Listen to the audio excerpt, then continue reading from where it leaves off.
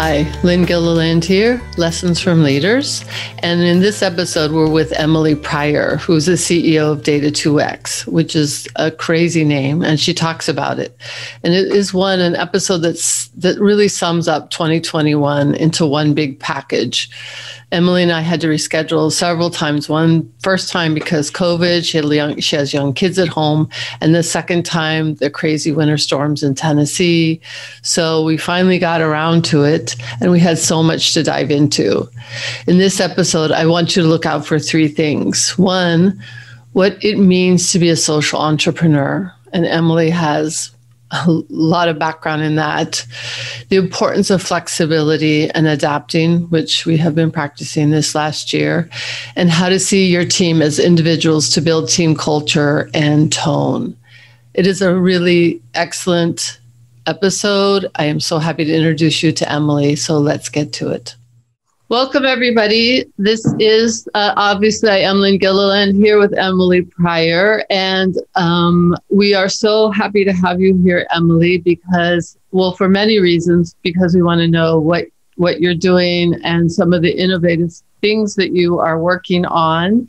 And also because we uh, have been working to get you here to be with us since April of 2020.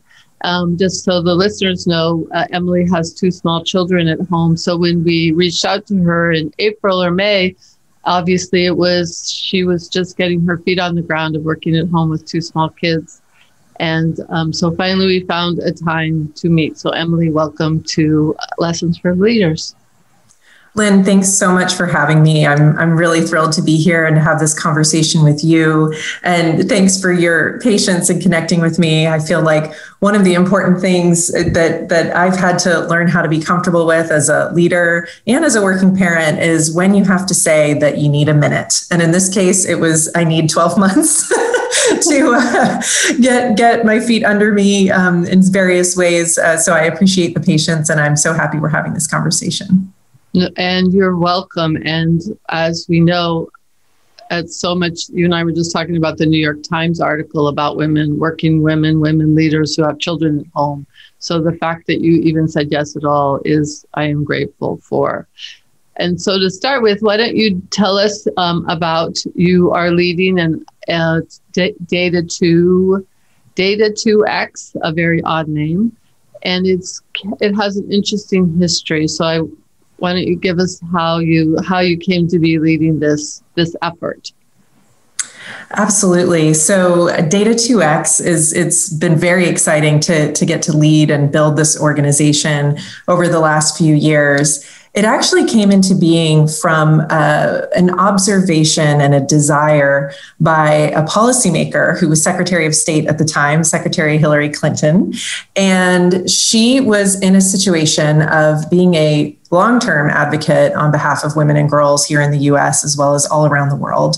And obviously, as a Secretary of State, in a position to need to not only set policy for the State Department, but also to give the president the best advice, right? And she was in a position where, when it came to women and girls, she was unable to do so.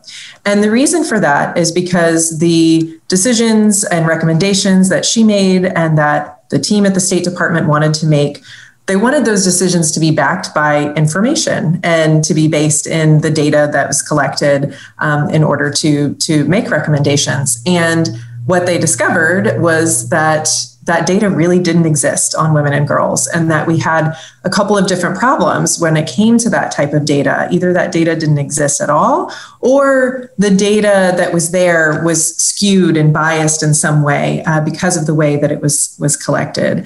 And so the team at the State Department uh, took took on the task of saying, well, what could we do about that? And um, they decided that it was really time for there to be a concerted effort on on this issue.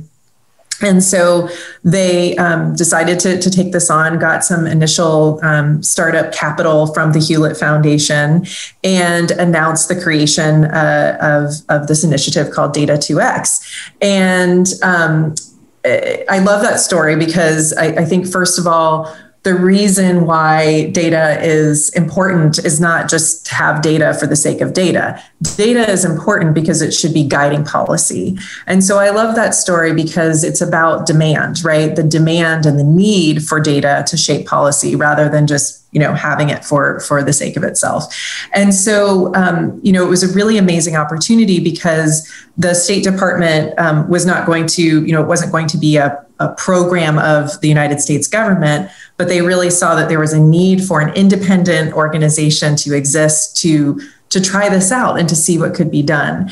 And I was really lucky um, to to to be in a place where I had uh, just started a few years earlier a women's economic empowerment program, and was in the position to um, you know have the opportunity to take this on. And they said, you know, what could you do with this with this idea of, of data 2x and it's really been such an honor and a privilege um, for myself as a leader but also the opportunity to draw a lot of really great people together to take what was a policy speech and turn it into an organization and a movement for increasing gender data, increasing and improving the kind of data we have about women and girls to improve policymaking.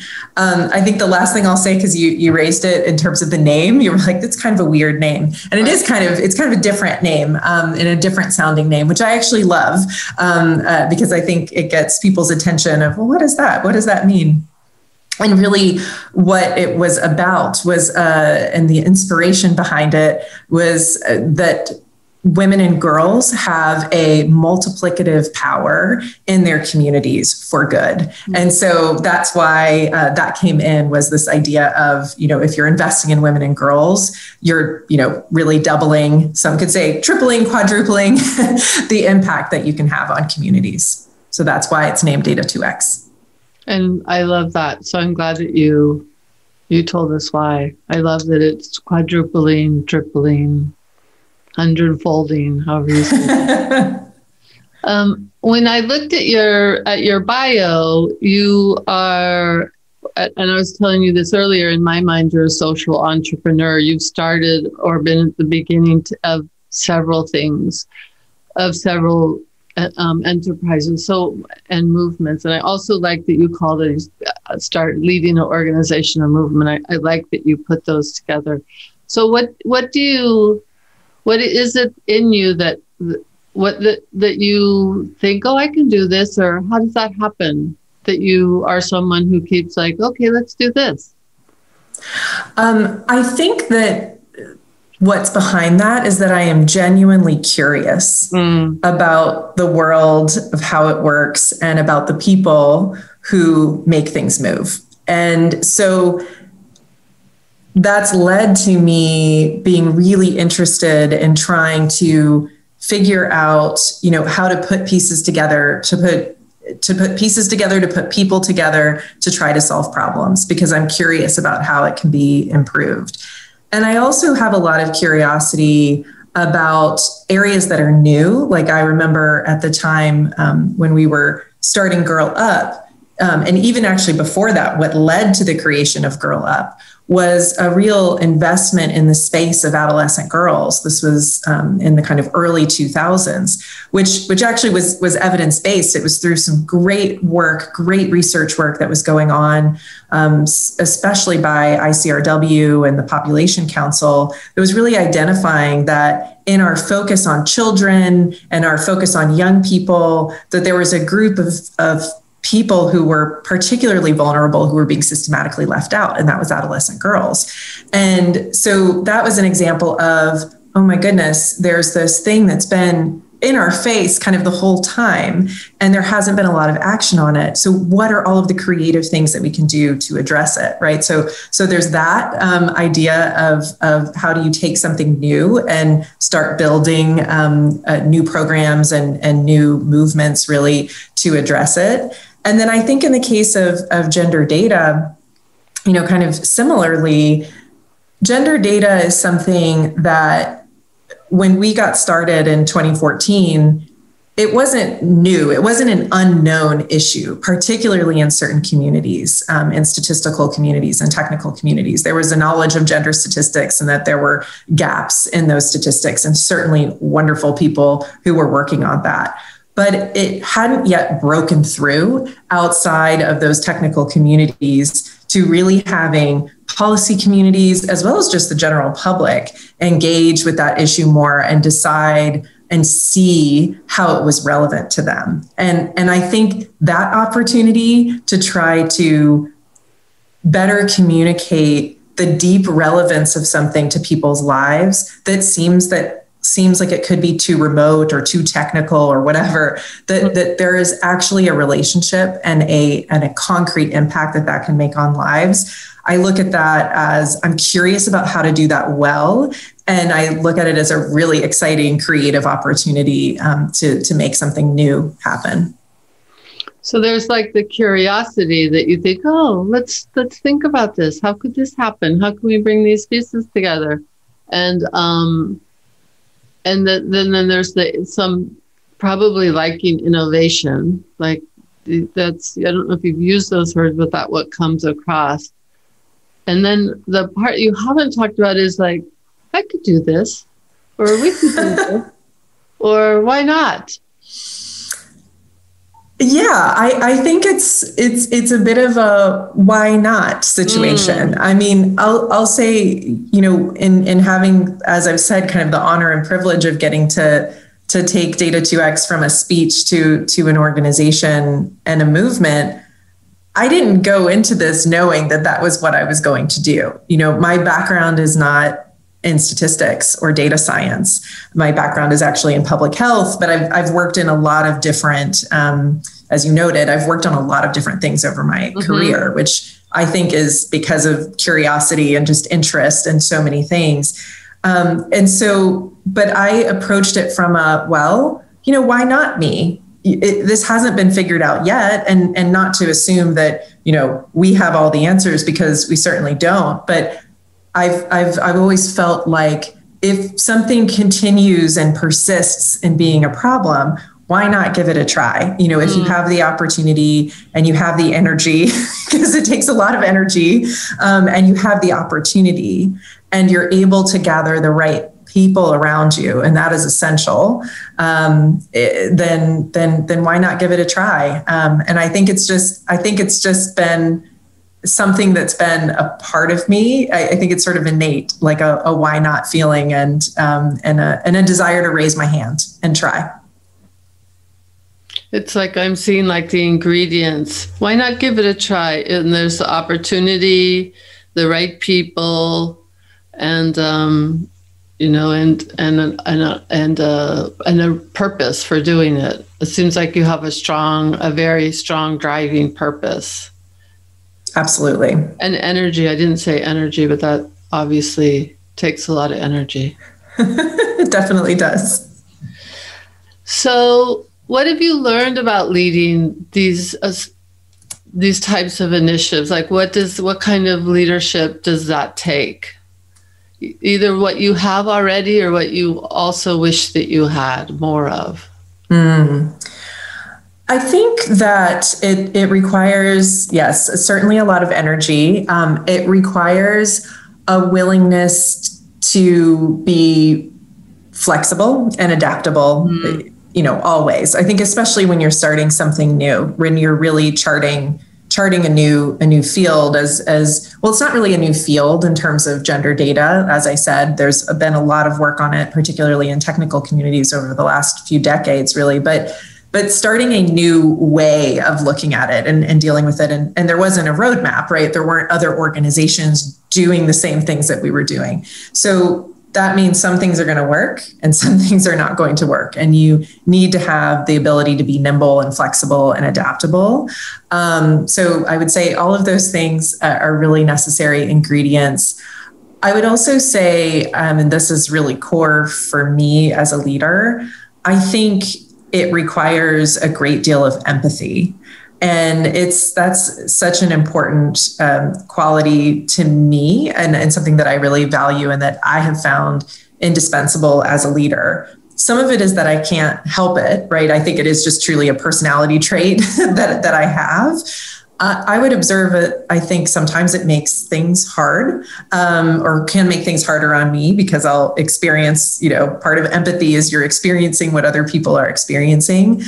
But I also feel that at the end of the day, it's incredibly valuable, especially when you're trying something new and you are doing things more in a more entrepreneurial fashion, is because you're trying to break through on something that hasn't been fixed. And there are all sorts of reasons why that might be the case, all sorts of barriers, all sorts of reasons that different stakeholders around a, particular issue might have for you know either reluctance you know active reluctance to work on it or just passive you know inability to work on it. And i think that empathy in these kinds of situations is so important for understanding motivations and understanding how to communicate effectively. So those are just a few of the things i would i would offer um, in terms of some of the, the qualities that i think are helpful. And so when you if we can unpack empathy a little bit what does that can you like look on like on a day-to-day level or in a given situation just so we're using that word so much now and i just mm-hmm. to be clear what that means to you mm. um, first of all lynne i think it's a great observation that we're using that word so much now mm-hmm. um, and and just what a welcome change that is because that was not the case a year ago and i think that is something that covid-19 has absolutely brought uh, into the spotlight is is empathy and leadership and so i'm really happy about about seeing that and um, and it's something i you know realized about myself several several years ago actually i remember that i was at this um, kind of convening and it was this it was this this conference of you know, all sorts of different people, social entrepreneurs and change makers and, and others. And you had to use three words to describe yourself. And one of mine was empath, you know, and we got into a big discussion about it, you know, because then you had to say what your words were and, and those kinds of things. And um, people were like, that's an, it, interesting. Okay. You know, kind of like it was a weird choice. And now I feel like it would be like, oh yeah, okay, sure. That's, that's a normal, you know, that that's a word, that's the word right now. And so to me, I think that empathy at its core is, um, a willingness and, and actually repeating a word I've used before and a curiosity mm-hmm. about other people to understand what where they're coming from, what they're thinking about, and then and then applying that to how you then address a situation. Sometimes it's about you know modulating your reaction. Um, it's sometimes it's about, but I but I also think that it's important to um, to draw a distinction of I, I don't think that empathy means not taking a position on things right? I think it means that you can understand and you can see someone where they are and meet them where they are but that also your ability to do that and to internalize it but still put forth your point of view or your decision if you know in a leadership standpoint in a clear way but in a thoughtful way to them I, I think it's very powerful because it allows you to show that you're taking in um, and and kind of honoring other people's experiences and opinions, um, but also able to say and and do from a place of deep credibility. I've heard you. I see you. This is my decision, and this is why. Right. Um, and I I I really feel um, like it's been a, a helpful quality uh, to, to me at least you know um, i'm not saying it's the only quality or um, that that you have to operate that way um, but i find it effective um, and i and i find it effective because particularly in the types of opportunities i've had first of all because i do you were talking about purpose earlier. Everything you know i've i've always pursued opportunities where purpose was involved. They've been varied in terms of what the purpose was and, and what was behind it. Um, but it's really important to me. And I feel like if you're working in an environment where a social mission is at the core, then empathy is very helpful, I think, and, and very important. And um, so I, I, think that uh, it's it's just something that you know I've found very valuable um, and very helpful in terms of alignment. You know, leadership.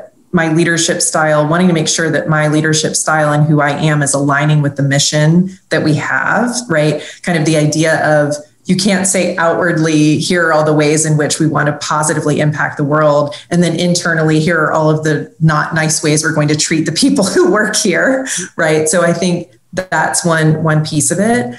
And I would also say, I think um, to bridge back to the kind of entrepreneurial space that you were talking about, I also think that because empathy, part of empathy is curiosity, I think it's very helpful when you're operating in environments where you're trying to put pieces together and you know uh, come up with with solutions and in new ways. I think this is so interesting and and as you know i hadn't intended to get into empathy specifically but as we're talking about it and i and also i'm i think this is a critical piece of leadership and but i am asking myself so for people that don't think that that they, that it's a nice thing, not a not an important element. You know, how, how do we say what's the return on your investment about being empathetic? It's it's. Mm. Yeah, that's a really interesting question. I would say I mean, I obviously haven't studied this. So, I mean, when you ask me return on investment, I think, okay, well, how can I prove this? so, I can't prove this. Um, I mean, I, I think I think this is where it's going to be, you know, there's certainly articles um, and other things that are coming out now. And I think it'll be interesting to watch over the next three years or so, watching, uh, you know, much has been made right around women leaders throughout the pandemic and their approach um, and how that has differed, right? Um, you know, certainly Jacinda Ardern is is one that's that's um, that's that's put out there, and I'm a big admirer of her. We could have a whole conversation about that, but. So I think that there could be some interesting kind of ROI analyses that that could be happening, especially coming out of this period, which would be really interesting. But speaking from my own standpoint or what I've observed, I feel like what I would say to people is that I've seen empathy be very helpful in terms of investment and buy in from your team. Mm. Because I think um, that it, when the team knows that you you are following not that you're getting in their business right or in their personal business but that you're following that you see them as a full person that you want to understand what's what's going on and you want to um, incorporate that into your daily practice and and your the way that you approach leadership at the organization. I do think that it affects the tone and the culture of the organization and that it can lead to um, you know happiness and uh, and not just happiness right? Because nobody's ever fully happy at it right? There are hard parts of jobs and that's fine in my opinion. There should be. Um, but that there's satisfaction maybe is a better word than than happiness. And and a comfort level that there are going to be ups and downs in this job as there are in any job but that there is a sense of um, security and um, stability in terms of what is built within that culture of a respect for each other and empathy for for what others are going through. And i think this past year you know that has made this more important than ever right of being able to because i think that empathy also gives a resilience um, to i think that's the other thing i would say from an roi perspective is that i think it can help you be more resilient and and adjust when there are shocks to the system. Nobody saw this coming over the last year. And I think that empathy um, for managers and leaders has probably really helped them navigate leading through COVID 19, as well as has helped their team feel supported as they navigate COVID 19. Thank you. That was so many things that you've said there are sparking other things in my mind. Um, and I, and there is research out, you know, out there showing how empathy um, and creating that kind of culture and those values. People feel have psychological safety and they're willing to take more risks and they, you know, feel more engaged and all of those um, benefits.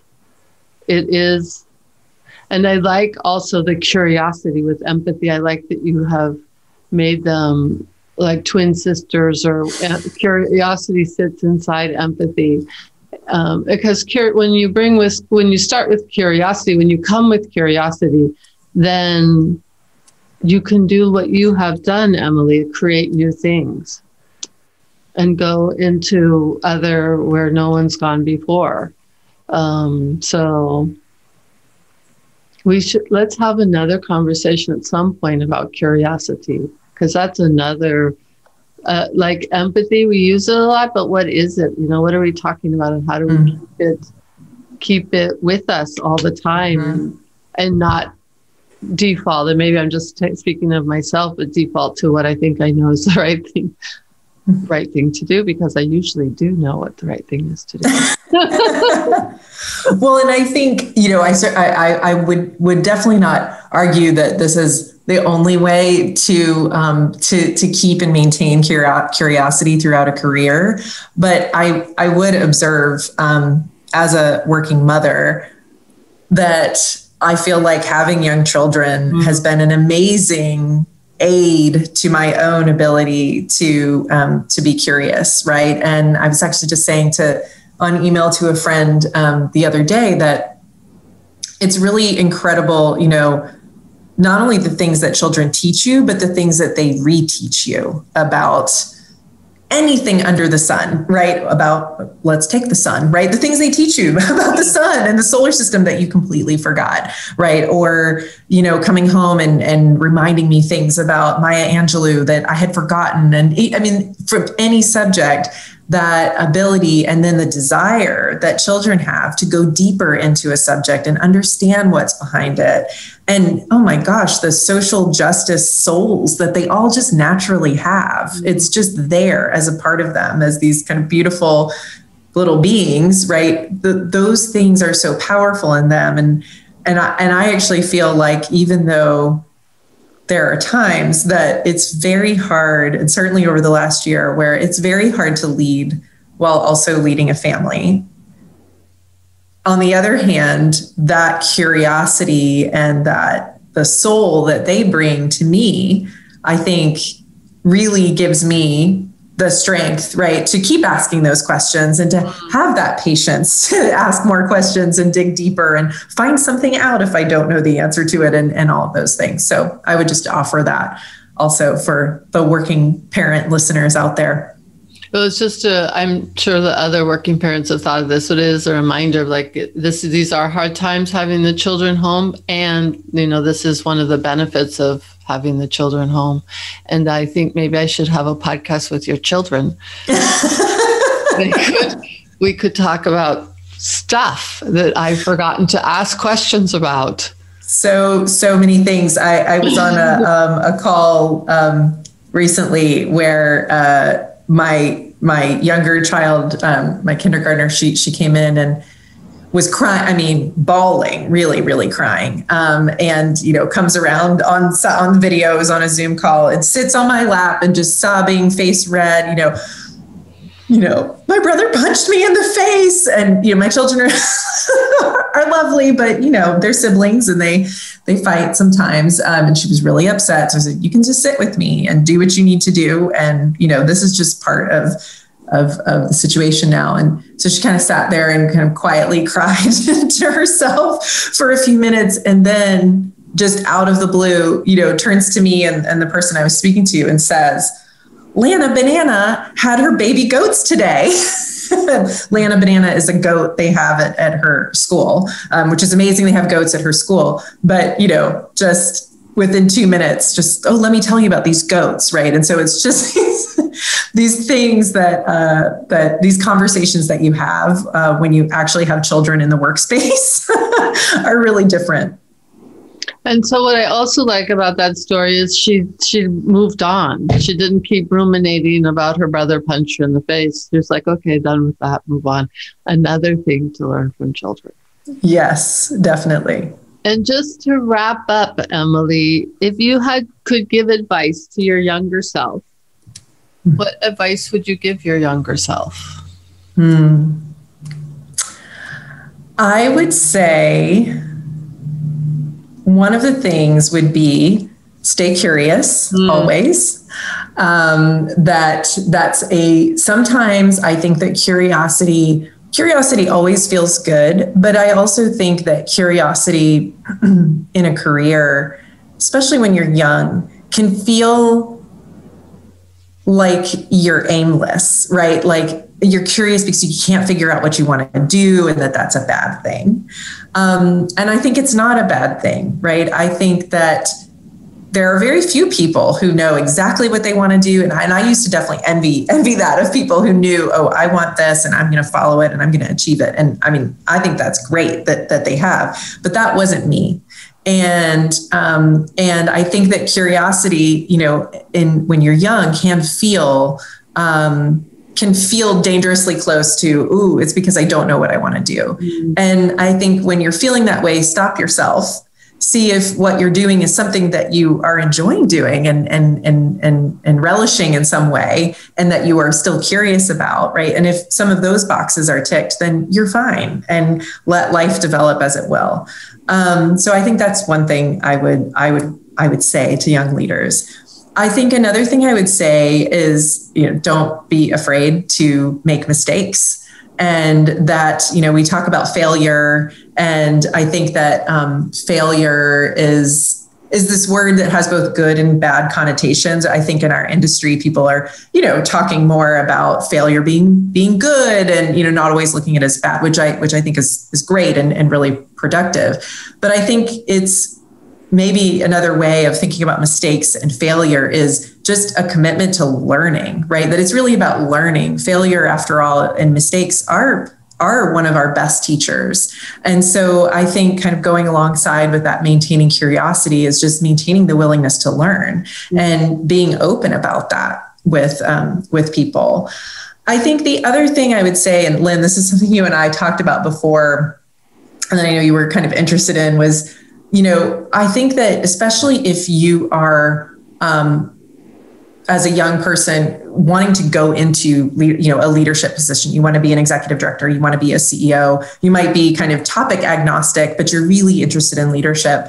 I feel like one thing um, that i wasn't prepared for that i wish i would have kind of understood and, and maybe thought about and sat with a little bit as a young professional would have been that it's my experience that leadership can be lonely and that that's okay um, but that it's something that you need to kind of understand um, and and and examine a bit um, in terms of that you you don't have a, a peer right when you're in a leadership position you have so many partners right you have wonderful people around you but in terms of your organization, you ultimately have to make those decisions. And sometimes they're very hard decisions and they're painful decisions.